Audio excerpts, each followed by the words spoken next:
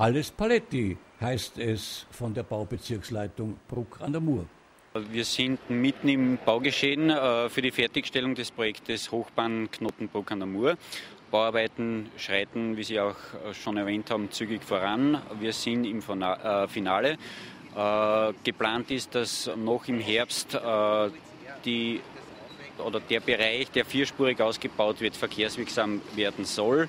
Äh, genauer Termin steht leider noch nicht fest. Äh, wird auch in, in davon abhängen, dass erstens einmal die Straßenbauarbeiten fertiggestellt werden, die ja am Wienerbühl, Bahnhofskreuzung, äh, Anschluss S35 und S6 äh, zügig voranschreiten. Äh, die Amplanlage wird gerade errichtet.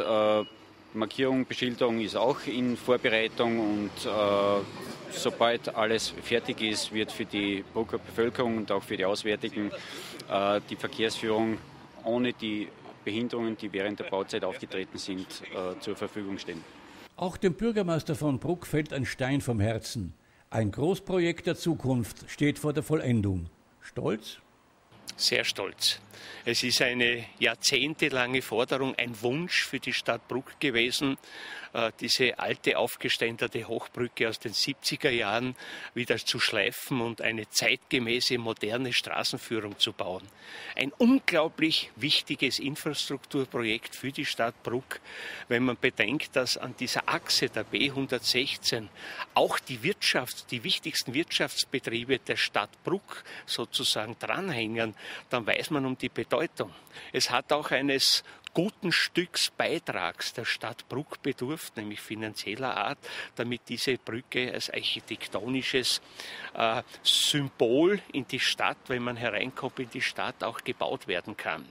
Und äh, wir werden diese Hauptbrücke auch versuchen, mit der Bevölkerung gemeinsam dieser Brücke einen Namen zu geben. Also wir werden die Bevölkerung befragen. Das wird sicherlich auch äh, das wert sein, damit man auch hier etwas Besonderes erreichen kann.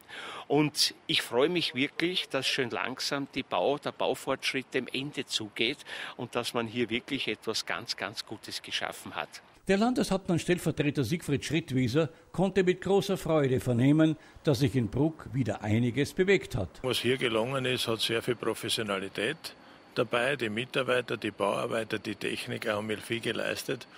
Und was ich verstehe, ist, wenn bei einer Baustelle die Leute sich oft ärgern und sagen, wie soll das gehen und so und läuft das und das soll anders laufen. Aber letztendlich muss man eines sagen. Diese Baustelle, wenn sie abgeschlossen ist, wird der Stadt Bruck ein Bild geben, was hundertmal schöner ist als das vorige. Und ich glaube, dass es auch zweckmäßiger sein wird. Und dafür freue ich mich schon sehr. Bruck bewegt Menschen und diese bewegen wiederum Großes in der Stadt.